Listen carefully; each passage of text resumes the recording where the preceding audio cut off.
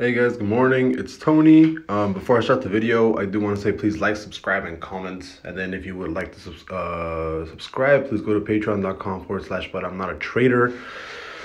Um, just had actually had some questions, so I'll answer some questions off the bat. Um, some people asked why my website isn't up, and it's just because I'm kind of debating on whether even revealing my, even sharing my strategy or not. Right? It's it's available on the Patreon, so for like the select few that already know and everything going on, like it's cool with me. But part of me is like, if I if I show everybody my strategy, I mean my eventual goal is to start a fund, right? Like if I were to start a hedge fund, that would be great. That'd be super awesome, right?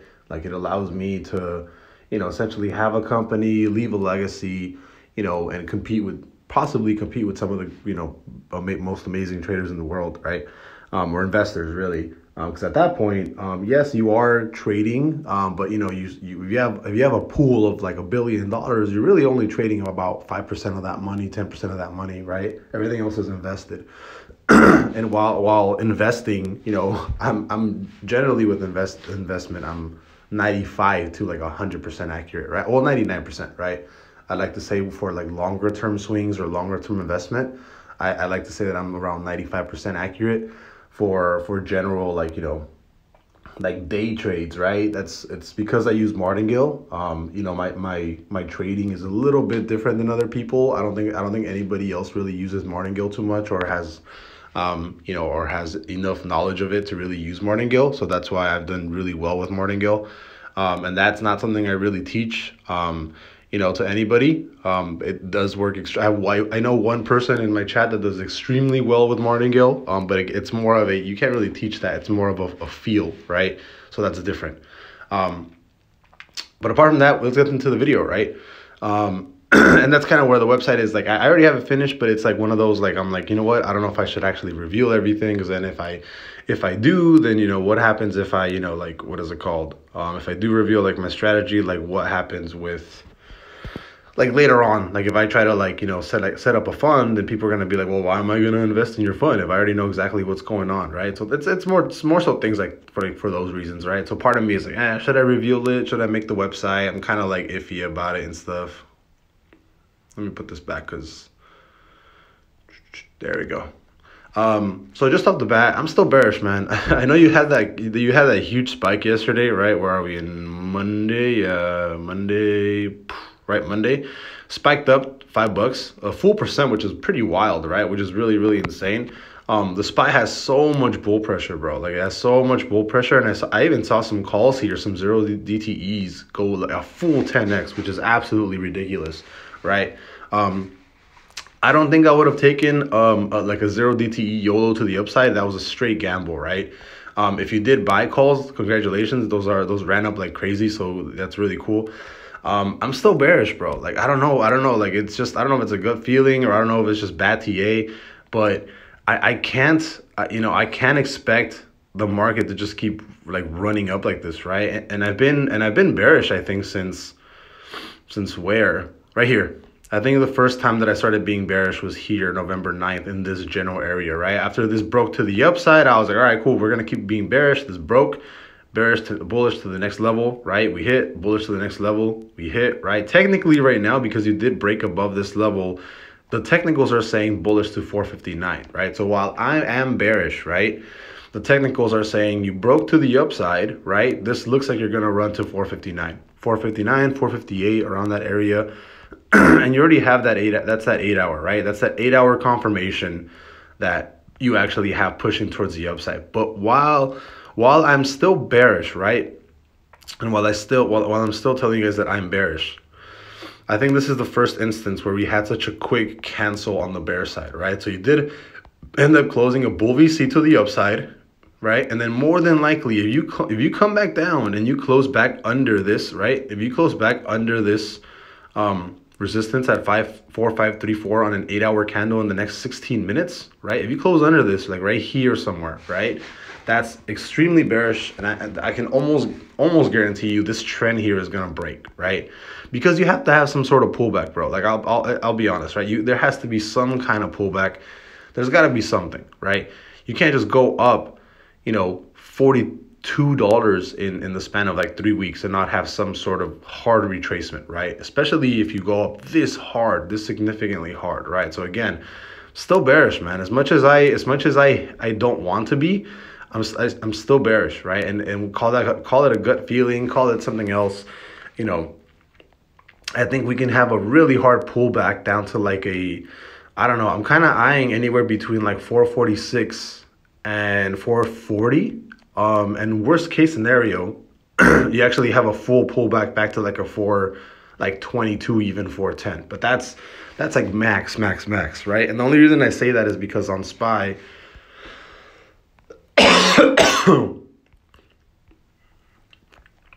right? If you go down on SPY, you actually have so many gaps, bro. Like you have a gap here at 423 and you still have a gap at 411. Not only that, you go to the DXY, right? You have a gap back up up here at right? On the on the on the dollar you have a gap at 106 bro. Like that's insane dude. Like that's and on the vix and on the vix you have a gap at 17 and 21 like if this goes back up to 21 right or even like you know 16 16 bucks you're looking at a 435 ish you know um SPY, right? If you go back to 21, you're you're back at 410. SPY gaps, VIX gaps always get filled. This is 100% accurate, right? 100% accurate. You have a huge gap at 21. So everybody that thinks that, oh, you know, we're going to keep running this, and, I don't think so, bro. Like I, I'm telling you right now, I'm telling you right now that it, it's a, there's a very high chance that this whole thing, that, that SPY gives up this whole thing. I don't know when, but there's a very high chance that it's soon because VIX gaps don't stay open for that long, right? They really don't, right? So if I'm just doing like a general TA for you guys, like this is very simple structure, right? This breaks here, you're gonna retest this 453 level somewhere around this range, and then you're gonna push up, right? Either that, or you trade sideways on until you hit this trend, and then you push up, right? Very, very simple, right?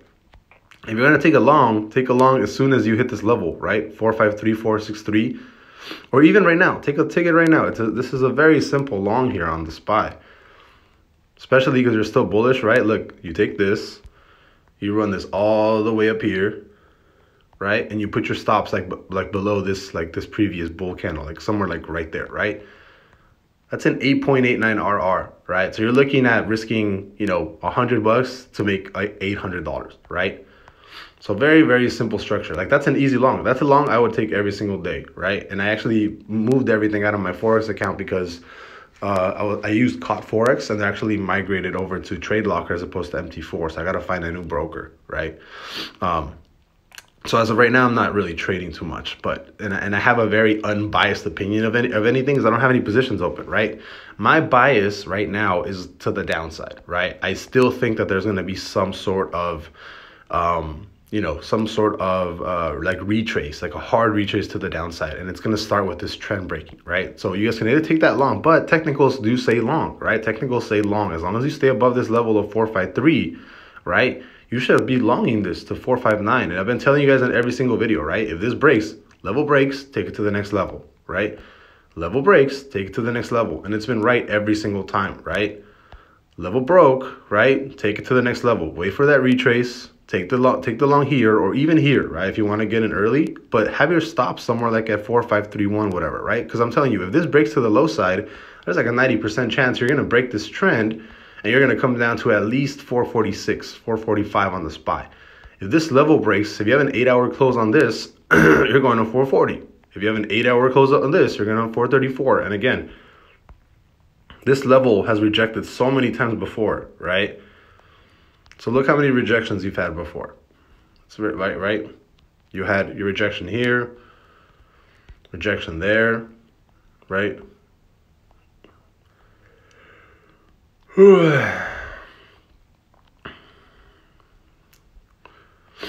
Where are right? You've had your rejection there, right? So very easy to spot these rejections, right? You've definitely ran to like four, five, nine before, but you've had already you've already had so many rejections off this level, you know, that you can you can I can definitely see this just completely rejecting and going back to like a 440, 435, right? That's definitely the range that I would probably guess you bottom, right? If you do retrace pretty hard. And if we just look at the fibbies here, right? If that's our top, you know, you can definitely see some, yeah, like I said, 434. So 434 would be a 50% retrace, right? And then 427, right? So generally your range of where you would retrace is somewhere right here. And at your lowest, you'd probably go to 428, right? Somewhere around there, lowest 428. And if these start breaking, right? If you break 434, you're, you're, you're going to 422. Maybe you wick down there, right? But again, you're looking at these eight hour closes to make sure you're actually coming down towards these levels, right? And that eight hours coming down hard. I'm telling you guys right now, like if this come if this closes under, right? Uh, we have to wait for the next candle close. So from six to two o'clock in the afternoon. So I think you can you can I think you can sell off the whole day today, right? I, I wouldn't buy longs here, right? Well, I mean, if you want to, I guess you can buy some zero DTEs because there's still a lot of bullish pressure. So at open, right? You could definitely buy some some like buy something buy like longs or whatever, and then maybe ride this up to four five eight because technical say that, right? But again, if this closes anywhere under here at four five three, you know, be extremely careful, right? Because we're closing an eight hour bear trigger in nine eight minutes. 16 hours closing a fresh 16 hour nine minutes and the four hour is already on a on a four hour uh, bear so i personally you know I, I would still take that long just because you know, it's it's just TA, just general TA. But I'm I'm I'm biased to, towards the downside today because every, the four, the eight, and the sixteen hour are bearish. And generally, short term for the day, you want to look at the at the what is it called? You want to look at the at the four hour bear, right? If that trigger is bearish, right, you're you're going you're probably to go down the full day, right? And you have so much room to drop on the stochastic, right? So much room. And then again yesterday, right? You closed at 22, so the so for the full day tomorrow, right? So yesterday on Monday, you were running really bullish, right? So that's why you kept popping. So again, the bias for yesterday was bullish, right? The bias for Friday was bearish, right? The bias for Thursday was bullish. And that's what happened. You just kept pushing towards the upside, right? Let me see, six hour, Actually, in the morning, you were actually bearish, right? Because you were still bear going down. And then you completely reversed that at 10 a.m. from 10 to close, right? So in the morning, and then again, you pushed. But again, fresh close here. So that means that the day afterwards, so Thursday, Friday, going into Friday, you were a little bit bullish. And then again, you closed at, at 6 a.m. You actually had that close. So you were bearish for like the full day, right? For mostly. So yeah, I definitely consider this being uh, like a very bearish bias going into today's trading day. Again, I always use the four hour for for for the biases, right? Especially uh, if you have a, a four hour close before market opens, that's that's golden, right? That's golden. So yesterday was all bullish momentum, right? Going into going into Monday, you were you were straight bullish, right? So at six in the morning, boom, you saw that those huge pops to the upside. And again, going into today, straight bearish to the downside.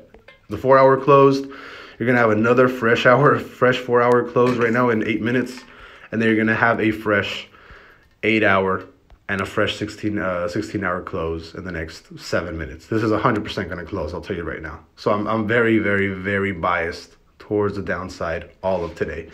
Um, and then also possibly the chances of this trend breaking now, especially after this nice big juicy candle down, chances of this trend breaking now are about 80%, right?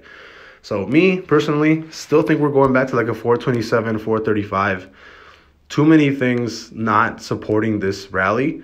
Um, but technicals do say take the long here at 453 with some risk, right? Obviously have some stops at like 453 exactly, and then long this to 4 459, right? That's just what TA says. Personally, I'm bearish though. I think we're gonna I think we're gonna keep dropping. I'll see you guys later. Bye bye.